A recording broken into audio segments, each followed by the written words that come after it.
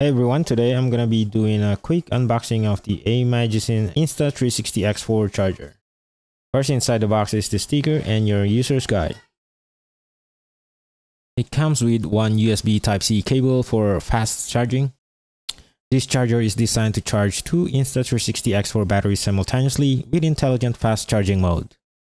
The dimensions are 2.84 by 1.66 by 2.18 inches, making it easy to carry around.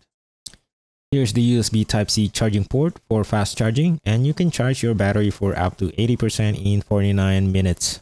It features three LEDs in the front for power and two battery status indicators. When you charge one of the battery to the slot, one battery indicator lights up and when it's blinking orange, that means it is currently charging and it is below 80%. One last thing I didn't mention is the micro SD card storage. The, the cover is also designed to store two of your micro SD cards for more convenient storage switching. I took this on our trip to Canada last month and it kept my X4 running with only two batteries. Connecting it to my 30,000 milliamp portable battery gave me complete peace of mind. I would definitely recommend this charger if you're looking to buy an alternative to the Insta360 branded charger.